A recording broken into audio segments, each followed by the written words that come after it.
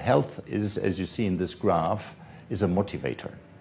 And I will give you some arguments why this is so. And we need motivators for climate negotiations. We need motivators for our own behavior because this has got to change as well. Now, protecting the health of ourselves, but particularly of our children, is probably the most, the most noble goal of all of us and the strongest motivation, whether you live in, uh, in Asia, in Africa, in America, or in uh, other continents. This is why people care about the climate, and this is why people are ready to act. It's also why policymakers uh, act and they refer to the health argument, whether it's the European Union as we see or whether it's other governments, they use the health argument to justify regulation and legislation on climate. I've put together a graph for you to illustrate this. This is from the IPCC, the first book of the IPCC of the last report, which is the scientific basis. And what you see is uh, the timeline on the bottom, which goes from when I was born roughly to uh, 2350, and you see the curves of the temperature that are projected to go up according to various scenarios.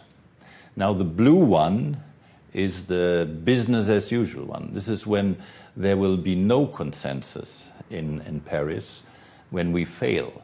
The others are lesser um, scenarios with a less uh, rise in temperature, and we should be on the green, on the green curve. So that huge spread is for us to choose.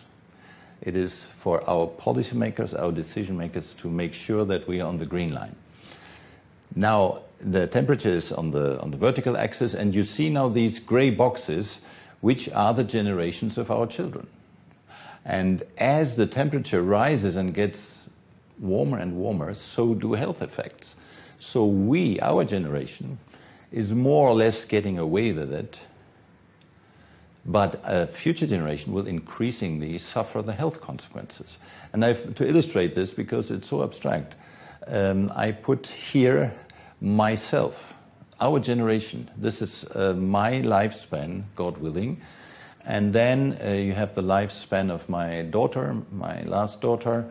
And then comes another child. That's, I didn't put my children because I don't know how many and whether I will have grand grandchildren. So I put people from uh, children from all over the world on these uh, generations. So it's for them that we need to make sure that we come to conclusions uh, on in the climate debate.